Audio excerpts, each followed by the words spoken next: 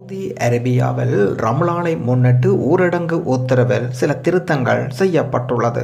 புனித ரமலான் முதல் நாளிலிருந்து நடைமுறைக்கு வருகின்றது.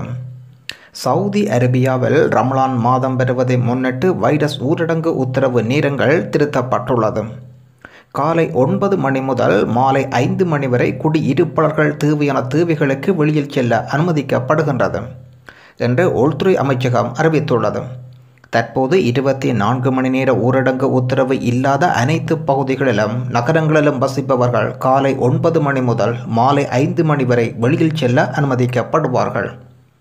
முழுமையான ஊரடங்கு உத்தரவு அமுலில் இருக்கும் பகுதிகளில் காலை ஒன்பது மணி முதல் ஐந்து மணி வரை மளிகை கடை அல்லது மருத்துவமனை போன்ற அத்தியாவசிய தேவைகளுக்கு மட்டும் வெளியில் செல்ல அனுமதிக்கப்படுகின்றார்கள்.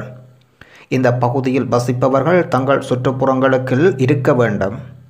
ஒரே நேரத்தில் இரண்டு பேர் மட்டுமே ஒரு வாகனத்தில் இருக்க அனுமதிக்கப்படுகின்றார்கள். வயது குறைந்த சிறுவர்கள் வெளியில் செல்வதற்கு அனுமதி இல்லை. குறிப்பாக பதினைந்து வயதிற்கு உட்பட்டவர்கள் வெளியே செல்வதற்கு அனுமதி இல்லை. பொதுவாக அனுமதிக்கப்பட்ட நேரத்தில் வெளியே செல்பவர்கள் மாஸ்க் கண்டிப்பாக அணிந்து செல்ல வேண்டும் என்றும் வலியுறுத்தப்பட்டுள்ளது. இந்த தகவல்களை உங்கள் நண்பர்களுக்கும் பகிர்ந்து கொள்ளுங்கள். ஷேர் பண்ணுங்கள். நன்றி.